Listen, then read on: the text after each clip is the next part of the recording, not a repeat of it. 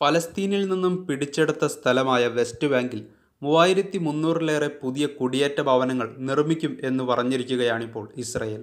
മൂന്ന് ഫലസ്തീനികൾ വെടിയുതിർത്ത് ഇസ്രയേലി സൈനികർ മരിക്കുകയും അഞ്ചു പേർക്ക് പരിക്കേൽക്കുകയും ചെയ്ത സംഭവത്തിന് പിന്നാലെയാണ് തീവ്ര വലതുപക്ഷക്കാരനായ ഇസ്രയേൽ ധനമന്ത്രി ബെസേലൻ സ്മോട്രിച്ച് കുടിയേറ്റ വ്യാപന പദ്ധതി പ്രഖ്യാപിച്ചിരിക്കുന്നത്.